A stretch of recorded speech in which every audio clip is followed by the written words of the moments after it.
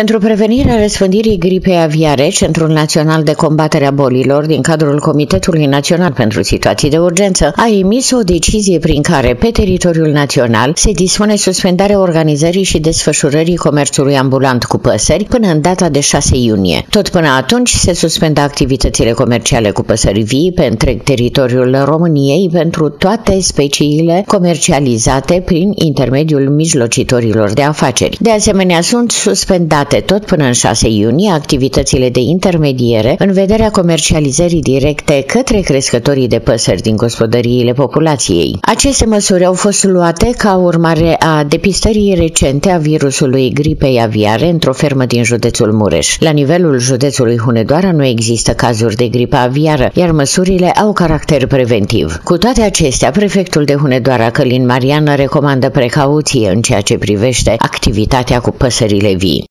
Sunt măsuri preventive, există o zonă de focar depistată în județul Mureș, dar ca să luăm toate măsurile de precauție, există o dispoziție a Comitetului Național de Situații de Urgență, prin care tot ceea ce înseamnă comerț ambulant cu păsări este interzis. Oricum, organizarea de târguri de animale este interzisă și recomandăm tuturor fermierilor, tuturor cetățenilor care doresc să comercializeze sau să achiziționeze păsări să fie cât mai precauți. Comercializarea de păsări vii va fi efectuată doar de către fermele autorizate, al căror efectiv are starea de sănătate atestată.